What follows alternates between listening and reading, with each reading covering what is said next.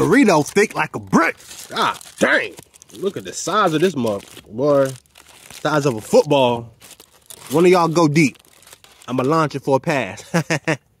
oh, look at that. Take a bite with me. Mmm. Mmm. Boy, you can never go wrong with the brick from Chipotle. I got chicken, rice, beans, corn, cheese, lettuce. This don't get no better. Of course, queso. Oh. Chipotle hands down got got the best the best queso in the game. I don't care what nobody say. I know y'all Jet fans. I know y'all sick right now. But it's okay. Aaron Rodgers, he'll be back. Hopefully. Speaking in existence.